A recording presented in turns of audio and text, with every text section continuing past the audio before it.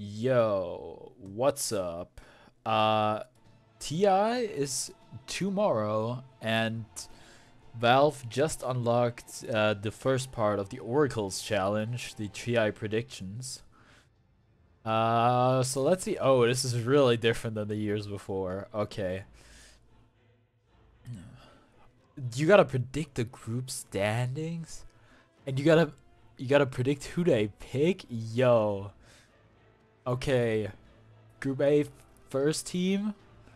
I'm going Spirit. Spirit's been looking really hot. They're I feel like they're the team to beat right now. They looked like in crazy good form in the last Dream League. I'm gonna go with EG next. Entities, Nine Pandas, and SMG. Okay, Group B. Oh, it is the group of death.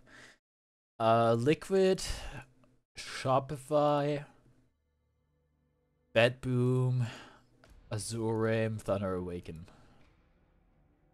Okay. Group C. Hmm. Gaimin, LGD, Nouns, Beast Coast, VP. Uh, que Quest, TSM, Tundra, Talon, Keyd Stars. Okay, okay, okay. Well, we we we're going really fast. At this rate, I cannot make a YouTube video out of it. Oh, I I guess it'll just be a short then. Um. Okay. Who are they picking? They're not gonna pick their comrades.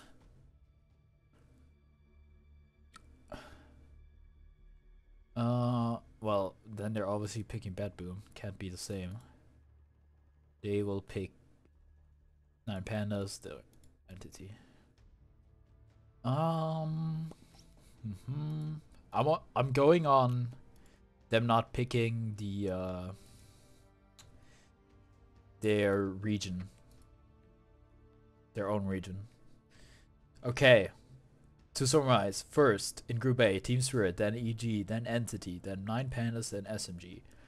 Group B, Liquid, Shopify, BetBoom, Azure, Thunder Awaken. Then Group C, Gaimin Gladiators, LGD, Nouns, Beast Coast, Virtus Pro. And Group D, Quest, TSM, Tundra, Talon, Vivo Keyd Stars.